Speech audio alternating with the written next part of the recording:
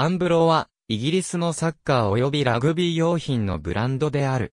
1924年、イギリスのウィルムスローという町に、ハロルド・シー・ハンフリーズとウォーレス・ハンフリーズ兄弟が、ハンフリー・ブラザーズ・カンパニーを設立。アンブロというブランドは、社名のハンフリー・ブラザーズからもじって命名した。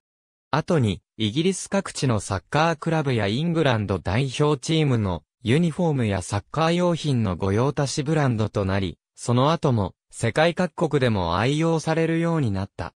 2007年、世界のメジャースポーツ用品メーカーであるナイキに買収されたが、その後の世界的不況もあってナイキは経営資源の見直しを決断。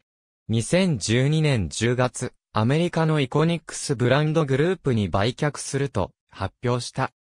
日本では1998年にデサントが日本における商標使用権を取得し、J リーグの一部クラブにユニフォームを供給しているほか、日本フットボールリーグのスポンサーとしても定着している。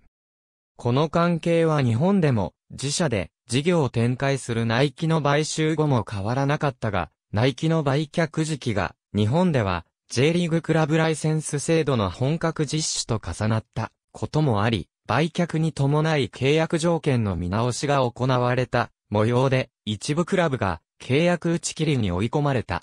ガンバ大阪所属の遠藤保仁、鹿島アントラーズ所属の遠藤康氏がスパイクを愛用している。2014FIFA ワールドカップでは桜島をモチーフにしたデザインを使用した。また、漫画、エリアの騎士の主人公、相沢かけると2014年に契約している。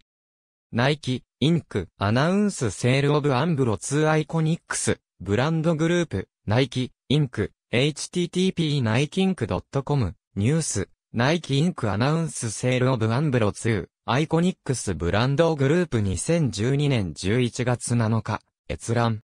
エンド W 配使用スパイクで試運転モチーフは、桜島、http コロンスラッシュスラッシュ www.sponichi.co.jp スラッシュサッカースラッシュニューススラッシュ2014スラッシュ05スラッシュ14スラッシュ KIJI スラッシュ K2014051400815627.html2014 年5月14日閲覧